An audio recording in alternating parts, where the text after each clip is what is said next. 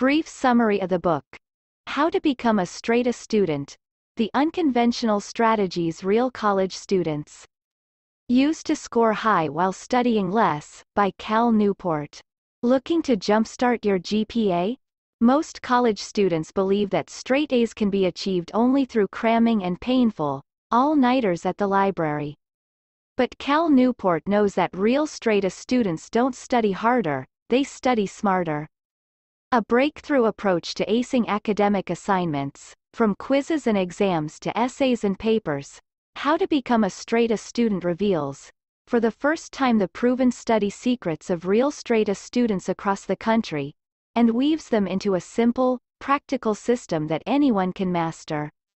You will learn how to streamline and maximize your study time and conquer procrastination. Absorb the material quickly and effectively.